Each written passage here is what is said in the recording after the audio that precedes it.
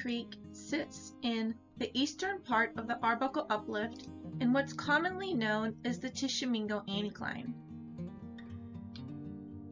This region of the Arbuckle Mountains is known for its beautiful Proterozoic granites that crop out at the surface.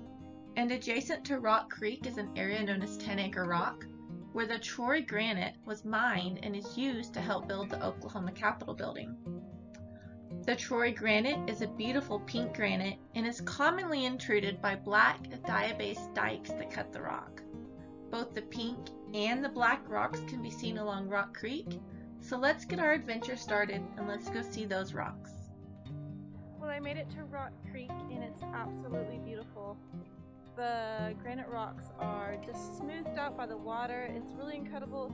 You also see both the pink granites like the Troy granite and then you also see this black igneous rocks which if I remember right is microdiorite from diabase dikes and sills that intruded this granite back like during the Proterozoic. So these are incredibly old rocks and incredibly beautiful.